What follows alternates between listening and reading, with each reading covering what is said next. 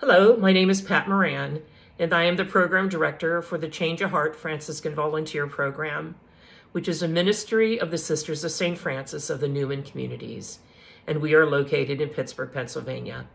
I wanted to let you know that the three main service areas that we place our volunteers number one is in healthcare, in hospitals and clinics.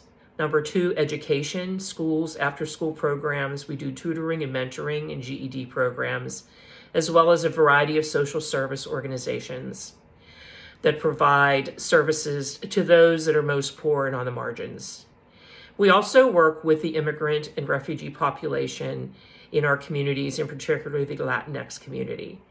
So if you have any of those skills, would like to serve with us, please reach me, P-M-O-R-A-N at sosf.org, or you can call me or text me at 412-334-4746.